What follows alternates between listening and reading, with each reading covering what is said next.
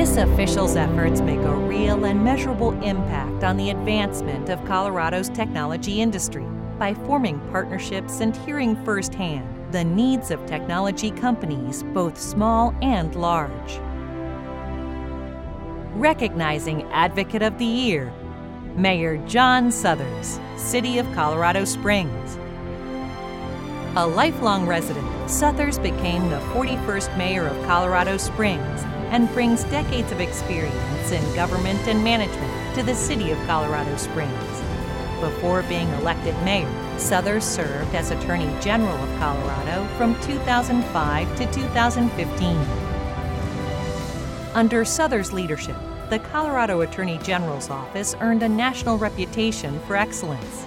In 2012, he was awarded the Kelley-Wyman Award, the highest honor given by the National Association of Attorneys General.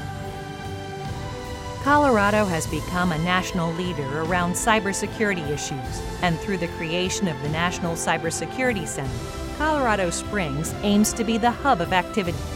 Mayor Suthers has been instrumental in making the NCC a reality and galvanizing public, private, and government organizations around a shared vision.